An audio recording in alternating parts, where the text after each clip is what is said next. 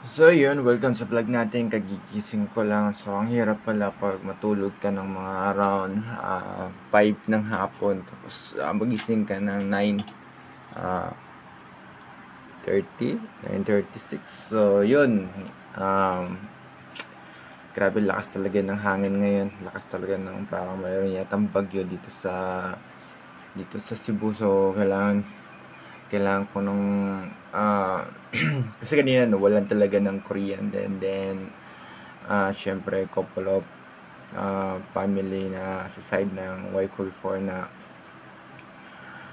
kakanilibing so pumunta ako. So hindi lang ako pumasok. So dahil it was issue na rin.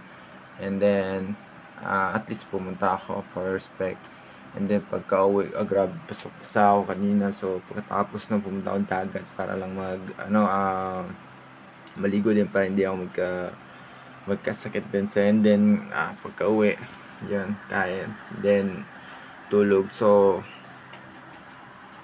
hindi ko talaga nagawang report ngayong araw pero ngayong gabi gagawin ko yung report. So yun.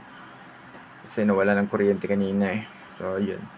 Ang ano lang talaga natin kapag matulog tayo ng hapon. Sobrang napaka-risky talaga kasi um, magising ka na ng gabi, magising ka na ng gabi.